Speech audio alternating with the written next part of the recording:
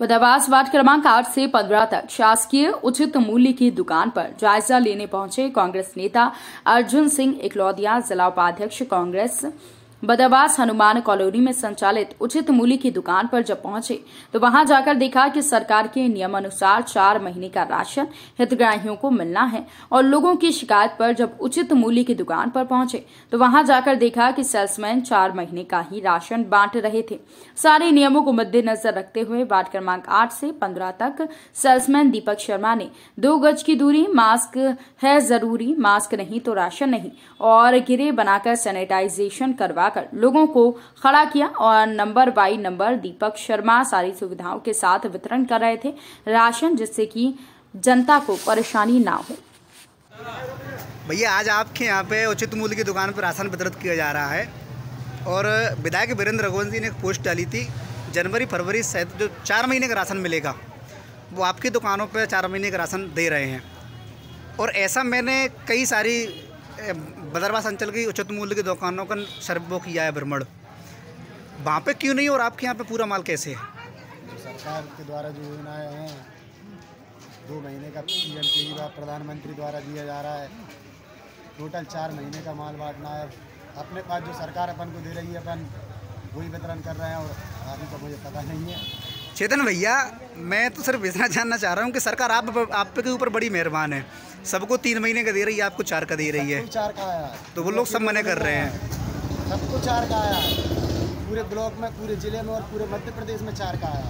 अकेले मेरी व्यक्तिगत दुकान पर चार का नहीं आया। अभी तक कितने लोगों को आप राशन वितरण कर चुके हैं। आपने तो बड़ी यहाँ पे मास्क नहीं तो राशन नहीं दो गज की दूरी मास्क ज़रूरी। गोल घेरा लगाए हुए हैं। तो कि ये किसी मतलब सरकार का नियम भी था कि आपने व्यक्तिगत किया इसको? सरकार का भी नियम है अपने व्यक्तिगत भी गोले वगैरह बना के सिस्टम से बैनर वगैरह लगा लगा कर मतलब कोविड को ध्यान में रखते हुए सब व्यवस्थाएँ की। पूरे क्षेत्र की उचित मूल्य की दुकान है वहाँ मैं खुद गया। आठ से दस दुकानों को आज सुबह सुबह से लेके अभी तक विवरण भ्रमण किया। भ्रमण के दौरान मैंने बहुत जगह ये देखा कि कहीं कोई दो दो माह का दे रहा है। ठीक है?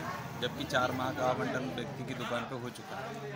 प्रशासन की तरफ़ से पूर्ण रूप से सजग रहकर चार महीने का गल्ला कंट्रोलर की दुकान को पहुँचा दिए गए हैं। इसके बाद भी ये लोग कभी दो महीने का दे रहे हैं तो किसी को तीन महीने का दे रहे हैं।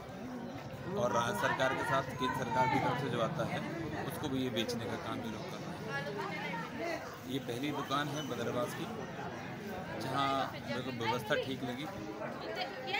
सारी व्यवस्थाएँ ओके हैं, विधि विधिवत इन्होंने लिखा हुआ है, सारा सिस्टम लोगों के सामने है। कि मतलब ट्रांसपेरेंसी जो होना चाहिए, वो स्पष्ट यहाँ दिखी। इलेक्ट्रॉनिक कांटा है। इलेक्ट्रॉनिक कांटा व्यक्तिगत खुद जाके व्यक्ति तोड़ रहा है, मैं खुद देखने वाला हूँ एक तरह से कहते हैं ना कि एक बड़ा उदाहरण यहाँ के जो सेल्समैन हैं, उन्होंने प्रस्तुत किए बाकी सब जगह हालत बहुत ज़्यादा ख़राब है पी की। पी सिस्टम को पूरा सुधारने की ज़रूरत है हकीकत ही।